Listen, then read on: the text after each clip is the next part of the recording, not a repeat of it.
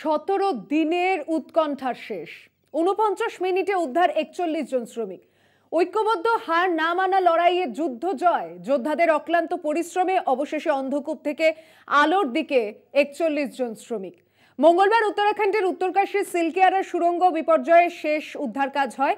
একচল্লিশ জন শ্রমিককে এবং হার না মানা যোদ্ধাদের কলকাতা টিভির কর্নিশ। অনিশ্চয়তা, আতঙ্ক, আশঙ্কা ঐক্যবদ্ধ হার না মানা লড়াই। সতেরো দিনে যুদ্ধ জয়।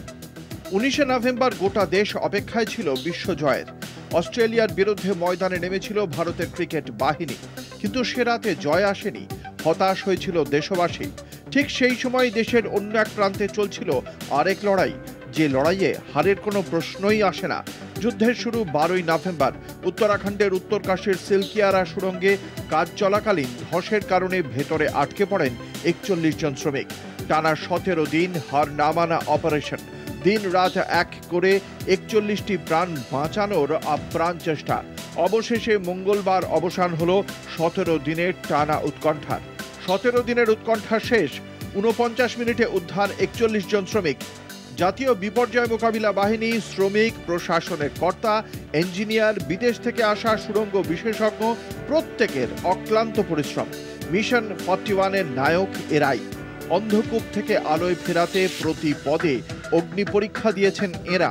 বিদেশ থেকে দেশে আনা অগার মেশিনও যখন হার মেনে যায়, তখন ইঁদুরের গর্ত খোঁড়ার পদ্ধতিতেই হাতে করে শ্রমিকদের প্রাণ ফেরান এই যোদ্ধারা। মিশন ফর্টি ওয়ানের নায়ক সুড়ঙ্গ বিপর্যয় সাত দিনের মাথায় দেশে আসেন মাইক্রো টানেলিং বিশেষজ্ঞ ক্রিস কুপার। সুড়ঙ্গ বিপর্যয়ের গোড়া থেকেই তৎপর জাতীয় বিপর্যয় মোকাবিলা বাহিনী। সুড়ঙ্গ বিপর্যয়ের দিন কয়েকের মধ্যেই টানেলিং এক্সপার্ট আর্নাল ডেক্স পৌঁছে যান বিপর্যয়স্থলে। মধ্যপ্রদেশ থেকে উড়িয়ে আনা হয় ছজন র্যাটহোল মাইনিং এক্সপার্টকে। যখন তখন ঘটতে পারত আরও এক বিপর্যয়, তবুও পিছু হটেনি। নিজেদের প্রাণের বাজি রেখেই দেশের হিরো হয়ে উঠেছেন বারো জন র্যাট মাইনার্স। ওয়াকিল মুন্না ফিরোজ মনু নাসিম ইরশাদ অঙ্কুর রশিদ যতীন নাসির সৌরভ দেবেন্দ্র দীপাবলির পর আবারও গোটা দেশে যেন আলোর উৎসব। সুড়ঙ্গের ভেতরে থাকা একচল্লিশ জন শ্রমিককে এবং হার নামানা যোদ্ধাদের কলকাতা টিভির কর্নিশ। কলকাতা টিভি।